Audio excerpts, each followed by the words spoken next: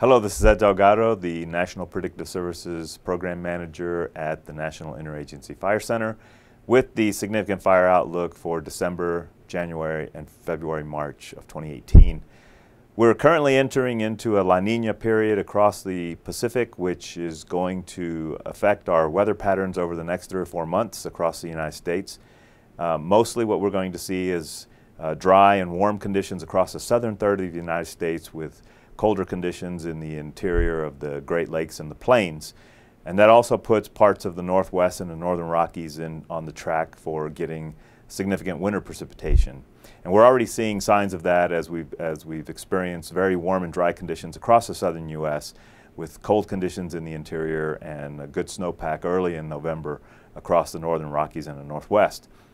As we look forward into the fire season for December, we don't generally have a lot of areas of concern this time of year except for the southern coast of California where uh, offshore Santa Ana type winds are possible, uh, especially uh, uh with strong in, uh, incursions of cold air into the Great Basin, we could see those winds pick up.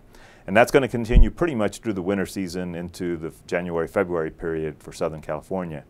And as we get deeper into the winter uh, and into the early parts of the spring, we should start to see conditions drying out across the central and uh, south central parts of the United States, particularly eastern New Mexico through Oklahoma and Texas, where we start getting into conditions where grasses across the plains become susceptible to fire. And so we could see an increase in fire activity there as we see an increase in drying conditions and potentially an increase in drought conditions across the region. Over the Ohio Valley and parts of the eastern United States, we could see below normal conditions when we typically see increases in precipitation and snowfall during La Nina years. And so that's the outlook for this month.